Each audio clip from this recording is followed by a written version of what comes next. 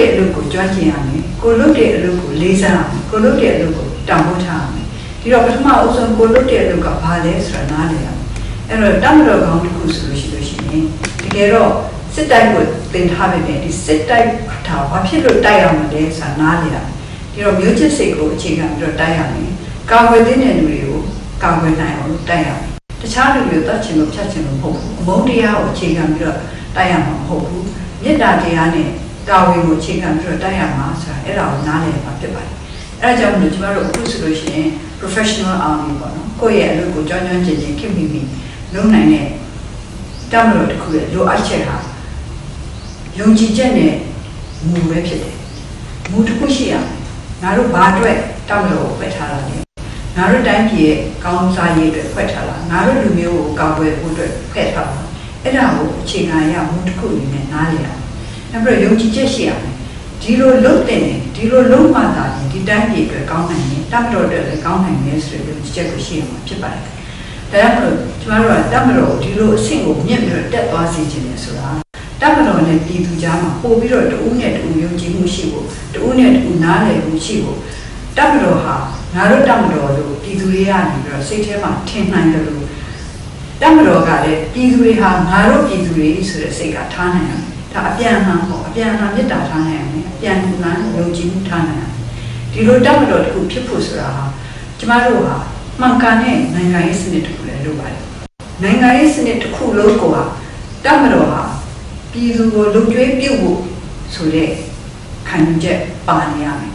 တမတော်ကလည်းပြည်သူကိုလုံခြုံပြုတယ်ဆိုတာဟာအင်မတန်မှဂုဏ်ယူစရာကောင်းတဲ့ကိစ္စအင်မတန်မှတောင်းဖို့ရှိတဲ့ကိစ္စဆိုဆွဲဆွဲမြဲမြဲယုံကြည်ရမယ်ဒီလိုကျမတို့ ရှေ့ကိုဆက်ပြီးတော့သွားနိုင်မယ်ဆိုလို့ရှိရင်ကျမတို့နိုင်ငံမှာပြည်သူတွေရောတမတော်သူသားတွေရောအားလုံးဟာဂုဏ်သိက္ခာလည်းရှိမယ်ပို့ပြီးတော့လည်းဒိုးတက်နိုင်မယ်ပို့ပြီးတော့လည်းဖွံ့ဖြိုးနိုင်မယ်အဲတထတလဲလဲကျမသတိပေးရတဲ့ကိစ္စတမတော်သားတွေကပြည်သူတွေကပေါက်ဖွာလာတာဒီတော့တမတော်နဲ့ပြည်သူဆိုတကယ်တော့ခွဲခြားလို့မရပါဘူး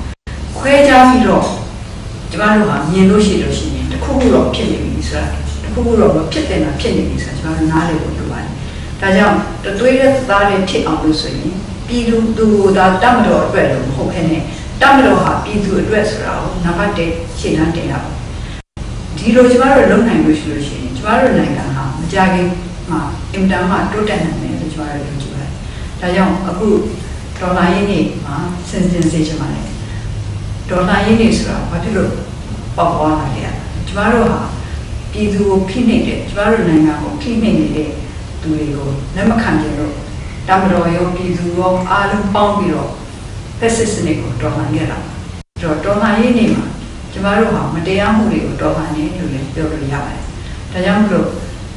အခုဆိုလို့ရှိရင်တော်လှန်ရေးတွေကိုတမတော်ကြီးလို့ခေါ်တယ်ဆိုတော့တမတော်ကြီးဟာလည်းမတရားမှုတွေအားလုံးကိုဆန့်ကျင်ဖို့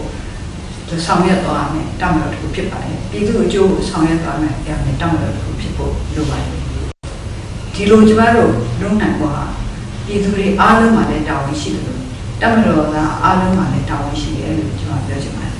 ဒီလိုတာဝန်သိသိနဲ့ဆက်သွားစီချင်ပါတယ်တမတော်ကိုဘာဖြစ်လို့ဖွဲ့စည်းခဲ့တယ်ဆိုတာလေထပ်တလဲလဲပြန်ပြီးတော့စဉ်းစားစေချင်ပါတယ်တမတော်ရဲ့အနာဂတ်ကိုဘယ်လိုဖြစ်တဲ့လဲဆိုတာလေထပ်တလဲလဲပြန်ပြီးတော့စဉ်းစားစဉ်းစားစေချင်ပါတယ်ပြည်သူတွေအားလုံးယုံကြည်ကိုးစားနိုင်တဲ့ချစ်ခင်နိုင်တဲ့ အားကိုးနိုင်တဲ့တောင်းတရဖြစ်နိုင်ပါစေလို့ကျွန်တော်ဆုတောင်းနေနေလို့